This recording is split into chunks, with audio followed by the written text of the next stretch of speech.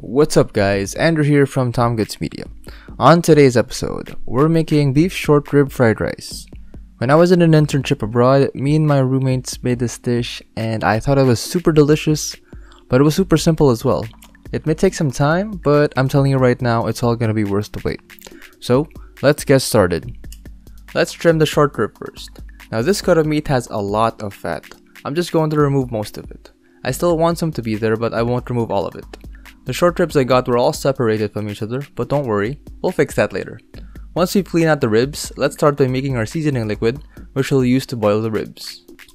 For the seasoning liquid, let's start off by cutting some onions and some garlic. Just slice them to big chunks. Next, smash about 2 pieces of ginger and let's go to the stove and get our water ready. In a pot, pour in 12 cups of water. Drop your aromatics and add 1 cup of soy sauce, 1 half cup of fish sauce, and 1 4th cup of sugar and stir it all up. Add the beef and make sure to submerge them completely. Bring it to a boil and cover it with a lid. Lower the heat and cook for 4 hours until the short ribs are nice and tender. Now remove the short ribs once they're tender. Let the ribs cool completely. Now don't throw away the liquid, we're gonna use it to cook the rice tomorrow. Let that cool too and refrigerate. For the ribs, I just stacked them on top of each other and placed another pan on top so that they set together. Wrap this with film and refrigerate overnight. For the rice, I made a mistake here where I cooked it with just the stock. It ended up burning in the rice cooker, so I removed it from the rice cooker and transferred it into a pot and added about 2 cups of water. I set the flame to low and let it finish off there. So what you guys should do is, for 3 cups of rice, add 3 cups of the liquid, plus 2 more cups of water, and just check it every once in a while. Let's cut our vegetables for our rice. Peel a carrot and use a mandolin to slice it to uniform pieces. We just want small pieces so that they cook faster. Next, slice our green and red bell peppers to the same size as the carrots. I'm just using a half of each. Finally chop some onions, again just following the size of the carrots. Slice up about 5 cloves of garlic.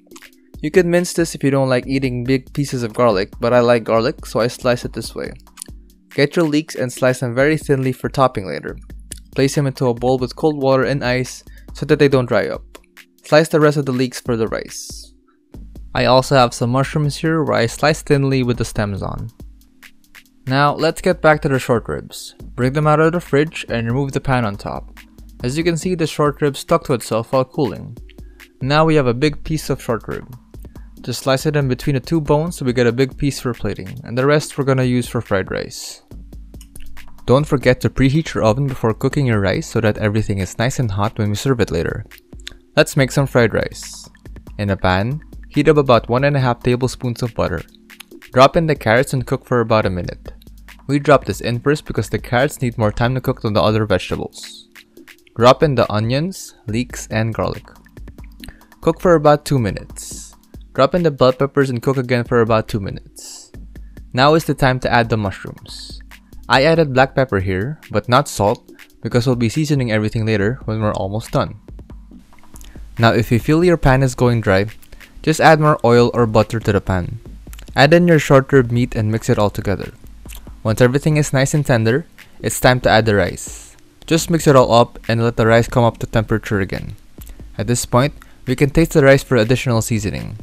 I added about 1 tablespoon of soy sauce here because I feel like it needed a little bit more saltiness. Since your rice is almost done, heat up your ribs in the oven until it's nice and warm. Let's cook a soft boiled egg for this dish. Bring water up to a boil. Once it's boiling, add your eggs gently with a slotted spoon. Let this boil for 7 minutes.